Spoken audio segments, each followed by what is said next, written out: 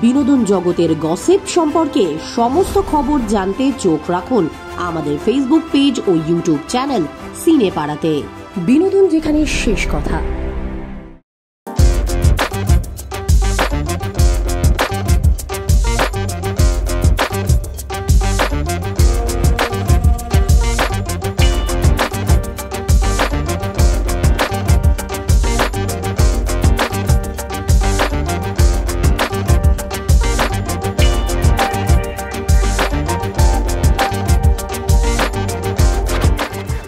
আমাদের যেভাবে পুরো বিয়েটা সাজানো হয়েছিল থ্যাংক গড মানে জানি না মানে আমার দাদার হঠাৎ কেন মাথায় এসেছিল যে রিসেপশনটা বৌভাতের পরের দিনটাই রাখি।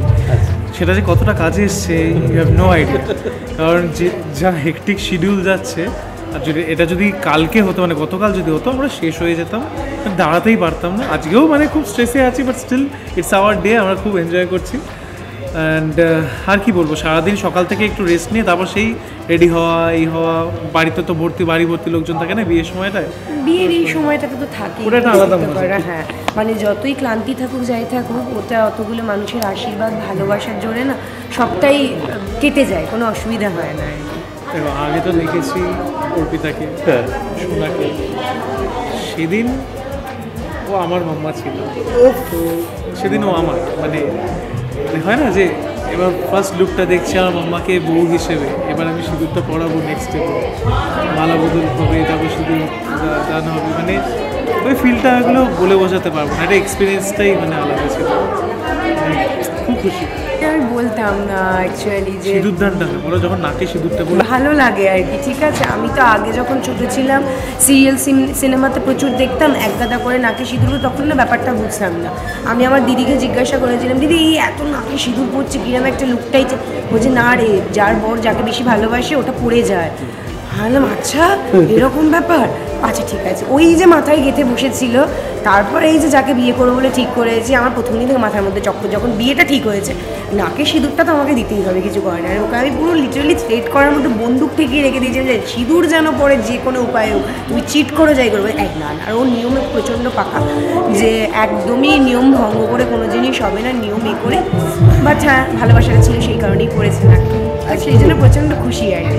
যে কোনো কিছু টেকনিক্যালিও করতে হয়নি, কোনো কিছু অন্য কারণে ভালোবেসেছে সেই কারণে করেছে আর অনেস্টলি বলতে গেলে না, ওই সময়টা আমার মাথার মধ্যে বা মনেও ছিল না বক্তব্যটা বেশি ম্যাডামের মনে থাকে এগুলো।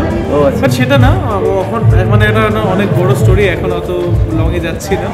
বক্তব্যটা এটাই ছিল আমি খুব সহজে বলছি একটা গাড়ির মধ্যে আমাকে প্রপোজ করেছিলেন স্যার এবং অনেক ঘুরিয়ে পেঁচিয়ে অনেক কিছু বলার পরে ফাইনালি দেখছে যে আমি কিছু বুঝতেই পারছি না মাথার ওপর দিয়ে বেরোচ্ছে স্ট্রেট আমাকে বলল do you love me or not আমি বললাম যে আরে আমার অনেক কিছু বক্তব্য যেভাবে বলা তো do you love me or not আমি তাহলে বলো আমি তোমাকে বাড়ি ছেড়ে দিয়ে চলে গেছি আমি এই রে এবার তো বাড়াবাড়ি হয়ে যাচ্ছে। I love you so much না বলেছিল বোঝানোর চেষ্টা করছ। দেখো তুমি একটা বড় ভুল করতে চলেছো। না। এসব করো না এই আমার আমার মাথাটা গরম হলো। তখনই জিজ্ঞেস করলাম ভাই আমি আমি ভাই আমি একটাই অ্যান্সার চাই হ্যাঁ কি না? হ্যাঁ। দেখেছ আমি এটাই তো বললাম ও ও দিয়ে সারাটা জীবন আমাকে শুনিয়ে যাতে আমি রিজেক্ট করেছি রিজেক্ট মোটে আমি রিজেক্ট করিনি। আমরা আমি আমি জেরি ও টম। ওই জন্য আমাদের গেঞ্জিতেও থাকে ও টম পর আমি জেরি করি।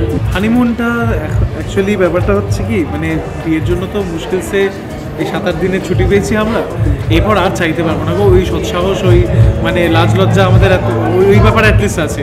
তো চাওয়া যাবে না এক্ষুনি ওটা পরে। মানে এগুলো একটু প্ল্যান করেই করি। মানে হুজুকে বেরোনো ওগুলো দাদাদের সাথে হয় গাড়ি নিলাম বেরিয়ে গেলাম। কিন্তু এটা একটু প্ল্যান করে করতে হবে কারণ হানিমুন বলে ইন্টারন্যাশনাল ইচ্ছা আছে বাট কোথায় ঠিক নেই? কারণ আমরা যেহেতু দুজনে এখনও আমাদের পাসপোর্টে স্ট্যাম্প পড়েনি ওকে তো ও তো পাসপোর্টই বানায়নি এখনও এবার বানাবে। হ্যাঁ সেটা উপরই দায়িত্ব দিয়ে দিয়েছি যে বলে তোমরা তুমি বানিয়ে দেবে আমি পারব না তো ওইটার জন্য আমার ইন্টারন্যাশনালটাই আমার ইচ্ছা আছে। But in the meantime এদিক ওদিক একটু ঘুরে নেব। আমার কেমন লাগছে? আমার ভালো লাগে। আমি একটাই উত্তর দিই যেটা আমি সবসময় দিয়ে আসি। যেমন তো নতুন করে কিছু বলার নেই সেই হা হয়ে দেখতাম এখনও তাই দেখছি। তাই দেখে যাব। দেখলে সুন্দর লাগছে মাম্মা তোমার? লাগছে তোমার? এই আমাকে মানাবে তো ওর পাশে। এই তোমরা বলো না আমাকে মানাবে তো ওর একটাই টেনশন হ্যাঁ এত মিষ্টি দেখতে একটা ছেলের পাশে আমাকে এরকম দেখা একটা কাক এরকম মনে উচ্চ লাগিয়ে রেখেছে। হ্যাঁ কি ভালো লাগবে কিনা একটা ব্যাপার। তোমার অডিয়েন্স বলো। আমি কি বলব? আমরা খেতে সবসময় ভালোবাসি। আমি ওকে বিরিয়ানি খাওয়াবো আমাকে বিরিয়ানি খাওয়াবে তারপর আমি ওকে কেএফসি খাওয়াবো। আমি খাওয়াবো। আমাদের আমাদের সবচেয়ে ফেভারিট ফুড এটাই। আজ সবকিছুর দায়িত্ব। আমি তোমার সবকিছুর দায়িত্ব নিলাম। আর সেমটাও বলেছে হ্যাঁ আমাকে একটা থালি দিয়ে। আমাকে একটা থালি দিয়েছে ও সেম কথাই বলেছে। পুরোনো দিনে তো পড়ে নেই না? এখন আমি ওরটা দেখলেও আমারটা দেখব। ঠিক লাকের ওপর ডিপেন্ড করে। আর দর্শক বন্ধুরা, এত যখন সোনাদীপ্তকে ভালোবাসে, তাহলে নিশ্চয়ই একদিন একদিন ফিরবো। হয়তো খুব শীঘ্রই ফিরতে পারি হয়তো দেরিও হতে পারে বাট ফিরবো তো নিশ্চয়ই।